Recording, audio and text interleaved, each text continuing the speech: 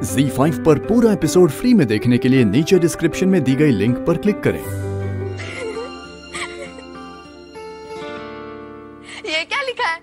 मोमो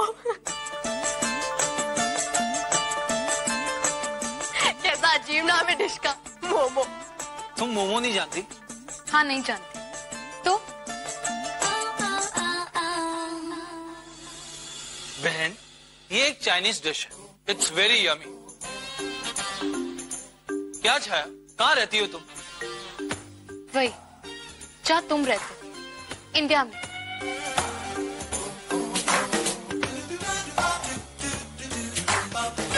तुम्हें क्या लगता है? चाइना में सब लोग जानते हैं कि गुजिया क्या है? ज़्यादा ओवर रिएक्ट करने की ज़रूरत नहीं है। अरे मैं कहाँ ओवर रिएक्ट कर रहा हूँ मैं सिर्फ़ बात कर रहा था। तो जस्ट चिल तुम्हारे साथ हम नॉर्मल बात नहीं कर सकते। इट्स इम्पॉसिबल और कभी ट्राई भी मत करना. ओके रचना प्लीज़ बैठ जाओ वैसे ही पूरा कैफ़े हमें घूर घूर के देख और तुम बीती बातें कब तक अपने दिल से लगा के बैठोगे? ऐसे लाइफ में आगे कैसे बढ़ोगी? Just move on please Vihaan तुम्हारे साथ ये सब पॉसिबल नहीं है. तुम उन लोगों में से हो जो लाइफ में एक सबक बन जाते हैं जो भुलाए नहीं भूलते।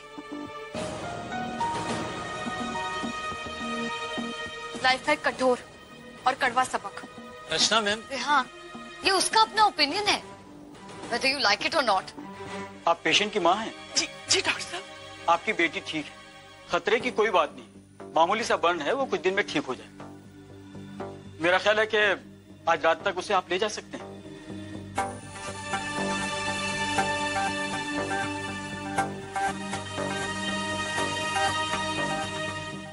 डॉक्टर साहब क्या हम अपनी बेटी से मिल सकते हैं? नहीं।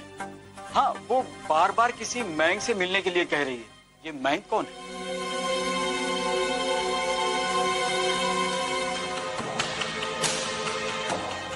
जी डॉक्टर साहब मैं हूँ मयंक बोलिए। आप मिल सकते हैं। आप तो अब कैसे हो चारू? अभी भी दर्द हो रहा है क्या? थोड़ा थोड़ा। लेकिन आप तो ठीक है ना? हाँ हाँ मैं मैं बिल्कुल ठीक हूँ। मुझे क्या हुआ? अगर आपको कुछ हो जाता तो हमें बचाने के लिए कैसे अब आग में कूद पड़े? मयंक जी हम आपका ये एहसान कभी नहीं भूल पाएँगे। अरे नहीं नहीं तुम बैठी रहो आराम करो। मयंक जी आज आपने हमारी आँखें खोल दी। अगर हम दोनों ऐसे ही एक दूसरे की रक्षा करें केयर करें तो हमारी शादी बच सकती है। ना मयंक जी? हम मानते हैं कि हमसे गलती हुई लेकिन कहीं ना कहीं गलती आपकी भी थी। ये ऑर्डर लाने में इतना टाइम क्यों लग रहा है? आ, कुंजन तुमने घर पे फ़ोन नहीं किया? बहुत देर हो गई है। मम्मी घर पे राह देख रही होगी। हाँ बस एक मिनट करते हेलो? हाय बुआ जी अब मौसी जी है क्या? मुझे उनसे एक ज़रूरी बात करनी थी। क्या? ये आप क्या कह रही है बुआ जी अच्छा अच्छा हम लोग आते हैं। रचना चलो हमें चलना होगा। क्यों? क्या हुआ? मम्मी कहाँ है? एक सेकेंड एक सेकेंड। क्या हुआ? प्रॉब्लम क्या है? सब ठीक है ना? वो एक्चुअली चारू का एक्सीडेंट हो गया है। डॉक्टर साहब का जी डॉक्टर साहब आ रहे हैं। डॉक्टर साहब सुना है कि यहाँ बंद केस आया? है हाँ एक केस आया है। लेकिन वो माइनर बर्न का केस है। उसे हम जल्दी ही डिस्चार्ज भी कर देंगे।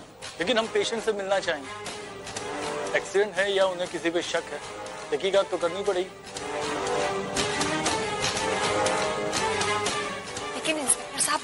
यकीन मानिए, ये सिर्फ़ एक हादसा था।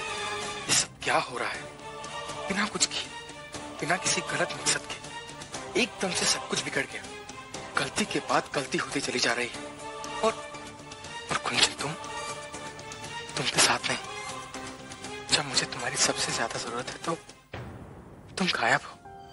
मुझे एक साथी, एक एक दोस्त की ज़रूरत है, जो मेरे दर्द दूर कर सके। आप ही जाओ Gunjan please come back.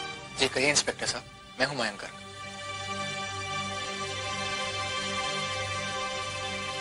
You are under arrest. You are under arrest. You are under arrest. You are under arrest. You are under arrest.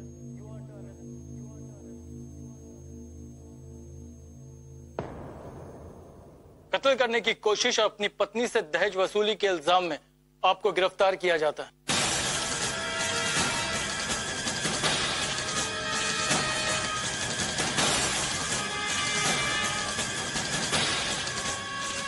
दहेज वसूली के इल्ज़ाम में? नहीं इंस्पेक्टर साहब आपको जो कहना है कोर्ट में कहना। चलो अभी मेरे साथ। लेकिन इंस्पेक्टर साहब आपको कोई गलत फहमी हुई है? हमारे बच्चे ने ऐसा कुछ भी नहीं किया वो, वो बिल्कुल बेकसूर है। ओ ये बेकसूर है। तो फिर किसने किया ये सब कुछ? कहीं ये किया धराया आपका तो नहीं है? देखिए इंस्पेक्टर हम आपके काम में कोई रुकावट नहीं डालना चाहते। आप जो भी ठीक समझते हैं वो कीजिए। बस हम आपको सिर्फ़ इतना बताना चाहते हैं कि हम एक साधारण मध्यम वर्गीय परिवार से भगवान का दिया हमारे पास सब कुछ है। हमारा परिवार दहेज के सख्त खिलाफ है, इंस्पेक्टर।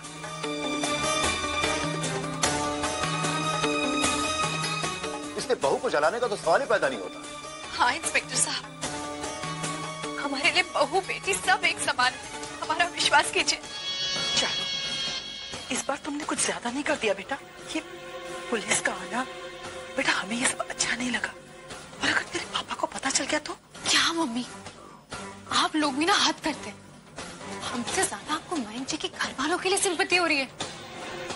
और हम कह रहे ये सब हम सिर्फ़ अपनी शादी बचाने के लिए कर रहे हम दावा करते कि अपने घर वालों को ऐसी हालत में देखी मयंक जी डिवोर्स केस वापस ले लेंगे।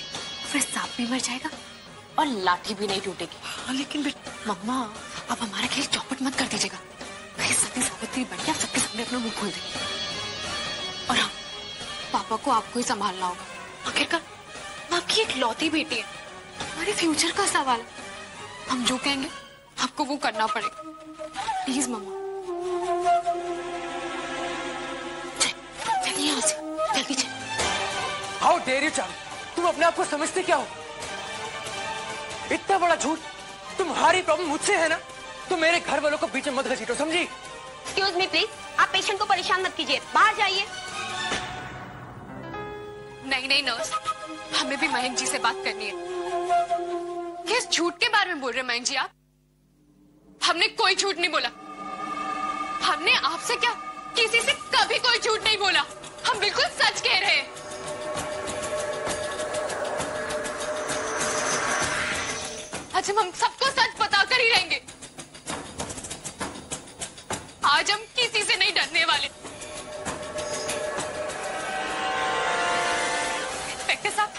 आज हम आपको सब कुछ सच सच बताएँगे। शादी के पहले दिन से ये सब हमें दहेज के लिए परेशान करते हैं। बस करो चारू। इन सबकी शराफत का कितना नाजायज फ़ायदा उठाओगी? झूठ की भी एक हद होती है। चारू बेटा, जरा ठंडे दिमाग से काम लो। जानते हैं कि पिछले कुछ दिनों से तुम बहुत परेशान हो। लेकिन इसका ये मतलब नहीं है बेटा कि तुम कुछ भी बोलोगी। एक मिनट इंस्पेक्टर। आप ऐसे सिर्फ़ चारू के एक स्टेटमेंट पे मयंक को अरेस्ट कैसे कर सकते हैं? आई मीन बिना किसी सबूत के? और नहीं तो क्या? अगर हमने इनसे दहेज लिया है तो कहाँ रखा है?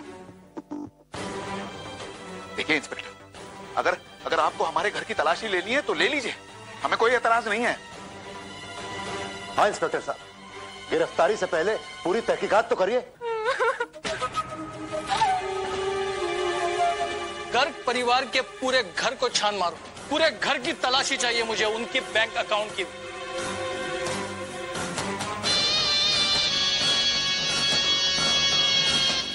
चलिए आप भी आइए। Z5 पर पूरा एपिसोड फ्री में देखने के लिए नीचे डिस्क्रिप्शन में दी गई लिंक पर क्लिक करें।